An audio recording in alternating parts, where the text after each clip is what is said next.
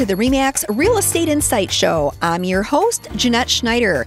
You know, moving is widely recognized as one of life's more stressful events. And if you have moved at any point in your life, you're probably nodding your head yes right now as you think back to your most recent move. And if that wasn't enough, we are right now in the busiest moving week of the year. According to a moving labor report, 80% of all moves happen between April and September. And by their calendar, this week in particular is labeled as, get this, pandemonium. So joining me to talk about what everybody needs to know to make your move smoother is Lauren Direzze. She's an associate with Remax Encore in Clarkston. Welcome to the show, Lauren. Thank you. So here we are. Let's say we've got folks listening. They found their new home. It's time to start packing up all of those belongings, get ready to make the new memories at the new home. But before you get there, you need to pack some stuff up. What's the first step that you recommend folks can do to prepare for moving day?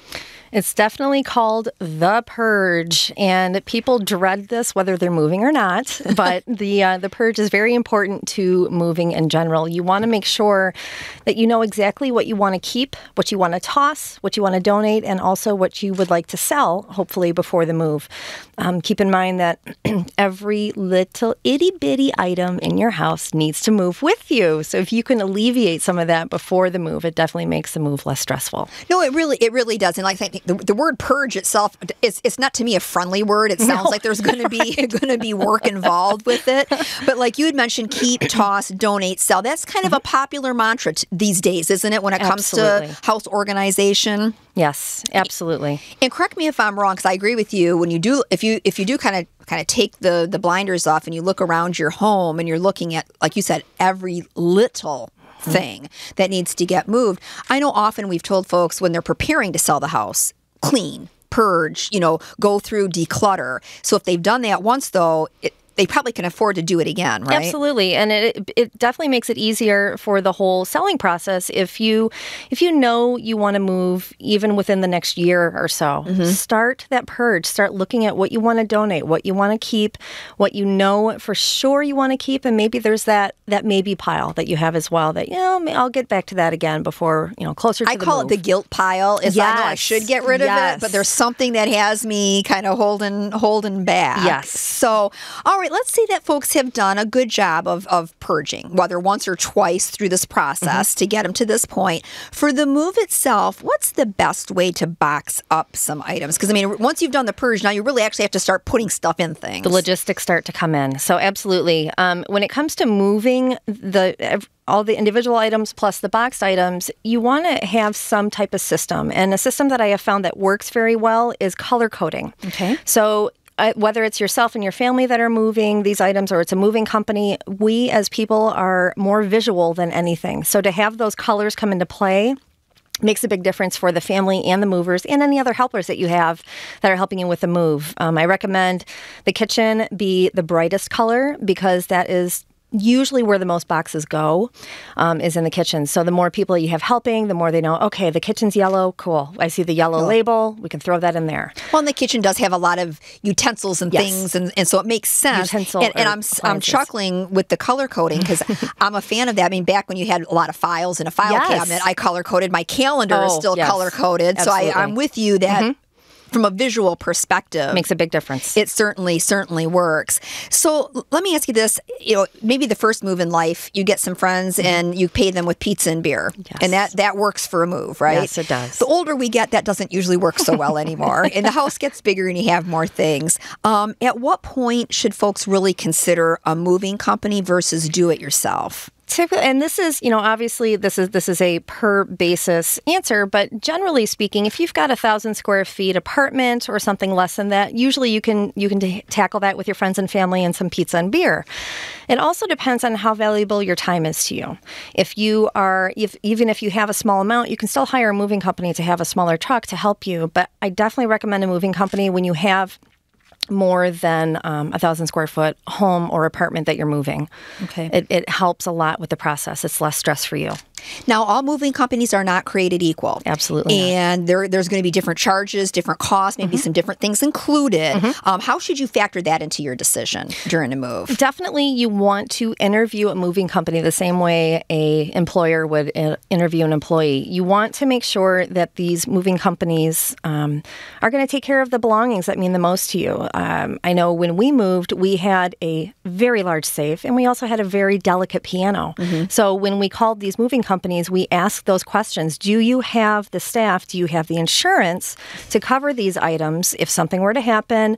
You know, give me your insurance policy. Right. Tell me tell me what your practice is with these items. And we ended up eliminating a few moving companies from the stack because of those special items that met. By asking those by asking those questions. Yep, absolutely. So we mentioned that summer is a busy time and homes are selling on average pretty quick. Mm-hmm. How far out should folks be contacting a moving company if they know they're going to want to use one, but, you know, as the Right. house is going on the market Right. or My recommendation for that is definitely to have these conversations with the moving companies at at the earliest moment. So again, if you know you're going to be moving in 6 months from now, you know you want to put your your house up on the market at that point, start calling the moving companies now to get those questions answered so that you have that information in front of you.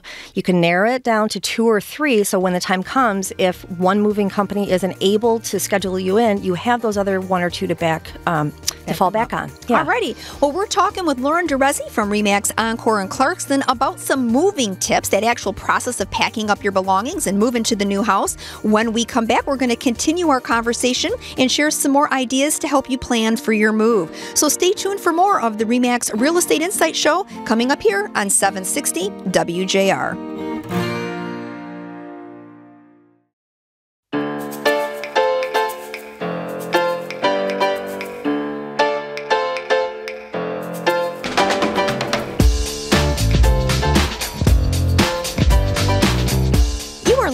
To the Remax Real Estate Insight Show, and we're talking about moving, the process of actually packing up your belongings, all of them, and getting them from your current home to your new home. What we've covered so far is that doing a thorough purge of your things before you move is extremely helpful. Do something like the keep, toss, donate, sell process to weed out as much of your unused or maybe no longer needed item before you not only pay to move them, but you physically have to deal with it. And you want to use a color coding system to label the boxes. Folks more easily can visualize things, but from a visual perspective, whether it's the moving company or friends and family. So make sure you're doing that and talk to the moving companies in advance. Get the details. What are the fees? Are they insured? Do they or did they have familiar moving big products like what you have? Get all of those details before you make a decision. I'm your host, Jeanette Schneider. Back with me is Lauren Direzze. She's an associate with Remax Encore in Clarkston. Before we even start to pack and load boxes, I always think it's a smart move to kind of gather the supplies you're going to need, whether it's packing tape, scissors, pens, labels, that type of thing. Have a kit I, you know, kind of take from room to room, which leads me to moving supplies themselves. Boxes, mm-hmm. packing peanuts, bubble wrap, whatever you want to call it, that all can get pretty darn expensive. And if you're looking at a house of any size, you need a lot of material. Do you have anything creative that you've seen people use to pack and move where you're not having to buy all those supplies? Absolutely. The same supplies come in um, in mind as what you just mentioned, but how to get them is where you get creative. Alrighty. So you can ask friends and family who um, maybe have recently moved or they helped a family member move, uh, downsize, whatnot. You can go on to social media. You can ask your friends and family on social media. You can go onto the local swap pages and ask for moving boxes because a lot of times people don't think about someone else that could use them. Mm-hmm. They just put them out to the curb for recycling. So you can definitely post on that and they'll say, please come pick them up. And, you know, then they don't have to worry their, about yeah, it. solves their problem on the other end. Now that I've unpacked everything, what do I do with all these containers? The other, the other thing that is a wonderful tool, um, not a lot of people think of, is if you go to your local party store, liquor store, the boxes that they box up the liquor and wine bottles in are the perfect size and they're meant to hold weight. So you won't overpack them because they're so big. Mm-hmm. And if you just call and ask them when they get their shipments, they'll be more than happy to keep those boxes intact for you. Oh, and that's interesting. It's like you said, for whether it's weight, like kitchen, you know, whether it's glasses, plates, silverware, they're weighty books. They're yeah, very, very weighty. So now you've got something that's meant to handle that type of weight and it's not going to give way Right. as you're on your way. and you're not going to hurt your back because you're overpacking a really big box. A really big box that yeah meant for pillows, and Yeah, you're trying exactly. you're trying to put a bunch of other stuff in there. So we know that moving can be stressful for adults, um, even more stressful for kids. Absolutely. Um, do you have any advice for those moving with kids that can maybe help make it a little bit easier? Yes, the biggest, the number one thing is to always keep them involved. Keep them involved in every aspect of the process. You want to ask their opinion about a lot of questions that you may have. Make them feel like this is their move as well, not just for the adults. And when you get to the new house, have them unpack their things in the room. It may not be the way that you want it to be, but they'll be happy to unpack their own items, put them in their own room, and that makes them feel more comfortable with the process that way. Well, and so get them involved, you know, which is which is a good tip. So let's talk about the other kids in a family, which are the furry kids, The fur because a lot of folks have furry kids in, a, in, a, in a family, and they get pick up on stress Yes. Mm-hmm. of the humans, you know, in the family. And I'm, I'm thinking movie day doors are being held Mm. open. All of a sudden, Fido's running down the street. Now Mm-hmm. we've got a whole other thing. Any tips to help it go smoother when there's pets involved? Yes. Um, either have them go to a friend's house on move day, um, someone they're familiar with, or you can just have them tied up somewhere outside of the home, but where they can still see you coming and going and that you're not leaving. Um, when it comes to getting to the new house, make sure that they have their favorite blanket, their favorite bed, toys, things that make them comfortable. Have them at the ready with your other items that you'll have at the ready as well, so that that pet can just feel that security blanket, if you will, mm-hmm. when you get to the new place that they're not familiar with. which leads us uh, right into did a great job on this first night in the new home Yes. you recommend that, that you kind of have an overnight bag Yes. why is this important and what do you recommend be in there Moving day is absolutely one of the most chaotic days of your life. And so you want to make sure that ahead of time you're thinking about, okay, what would I pack if I were going on a weekend trip? Uh, make sure you have your toothpaste, all your toiletries, a few uh, pairs of clothing, um, any any books, any of your phone chargers, your computer chargers, anything that you're going to need at the ready. Put those all in one bag, and that also includes those pet supplies that we talked about just a minute ago. and prescriptions or anything Yes. medical medical related i'm guessing too Yep. And snacks because you never know where the food is and that's vitally important when you're stressed, right? so we're, we've been talking a lot about the actual like packing boxes and physically moving, but as part of the moving process, there's also people you need to notify. Absolutely. Talk to us a little bit about what are some parties you need to keep in the loop, and, and how should folks go about doing that? There's um you really need to just keep everything written down the whole process but one of those things is create a who to notify list and good little pieces that you can work on. And again not bef- not during the move but before the move.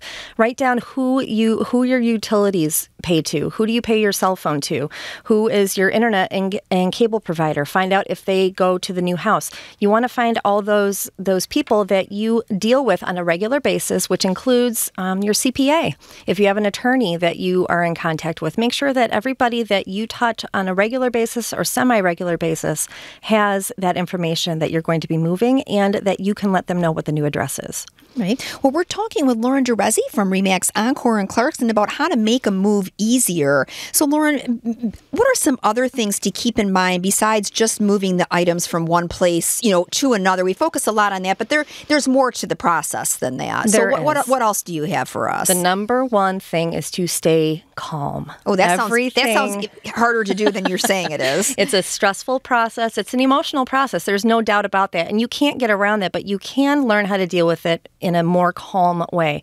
So, whenever you're feeling that anxiety start to rise up, just take a deep breath and know that you're not doing it alone.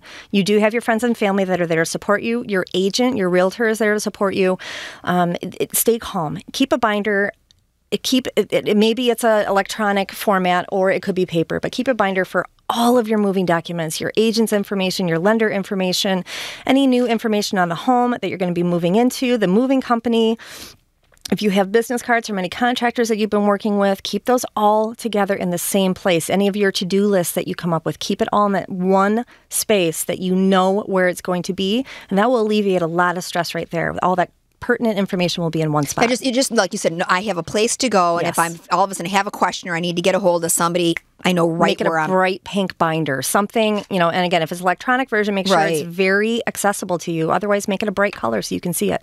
So you, let's say you do have f- friends and family because you're saying you're not doing it alone. You've got Mm-hmm. People to help you. Yeah. They show up. Maybe the moving truck is now pulled away. Boxes are Mm-hmm. all over the house. Better to go tackle one room at a time, or if you've got multiple people, let them divide and conquer. As far as unpacking, is there one method better than the other? Well, that's a big. It depends. it depends on how much you have confidence in your friends and family to do things the way that you want. It also depends. I come from a you know professional organizing background, so I know that I take calmness in unloading those things myself. So it really does depend on the family and on the situation, mm-hmm. um, and just make that decision at that moment. If they're there and they're saying, "Can I help you with anything?" If you feel any sort of tinge to have them help, have them do it, whether it be the whole house at once or just one room at a time. Okay. And you say starting fresh, a new mm-hmm. home's kind of a fresh space, fresh palette, if you will, mm-hmm. to develop some good habits. What's one good habit that folks can develop as they're moving into the new home? A fantastic habit that you can get into is creating a maintenance log for your home.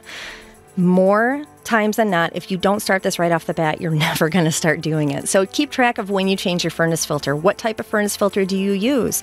Anytime you have a contractor come in to do any type of maintenance work or repair work, make sure you get their contact information, put it in one place, whether it be a binder, maybe a drawer in the laundry room or in the kitchen. Keep all those records in one spot so that you have it. And then also, if you do end up moving down the road, you have that information to rely to and also to provide to the next buyer. Sounds great. Well, thanks very much, Lauren Direzze, for sharing tips on how to make the actual moving process a little less stressful.